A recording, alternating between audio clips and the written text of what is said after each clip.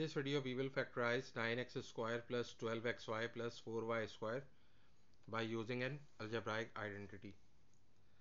So we have an algebraic identity a square plus 2ab plus b square is equal to a plus b whole square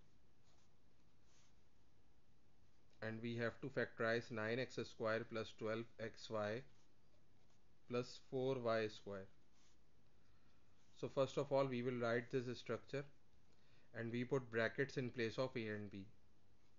So we have a square plus 2ab plus b square. Now we have 9x square in place of a square. So we can write 3x in the bracket because the square of 3 is 9 and the square of x is x square.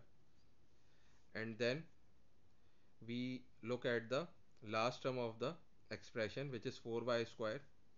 So we can write 2y in the bracket because square of 2 is 4 and square of y is y square. So we have a and b because we have a square is equal to 3x the whole square and b square is equal to 2y the whole square.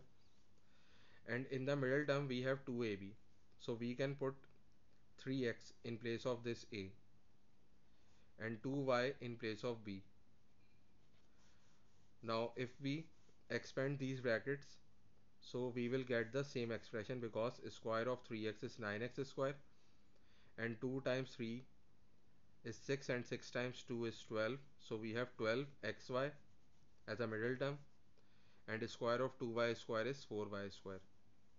Now we can apply this formula and we have 3x in place of a and 2y in place of b.